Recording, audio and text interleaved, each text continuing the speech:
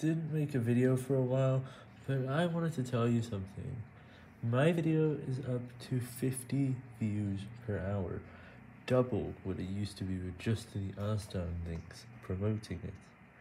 That means we're now getting more and more views from our video, and it's a really good thing for me because that means more people are going to visit my website, and that potentially means more good things happening on the website. Hopefully I get some requests on my website soon.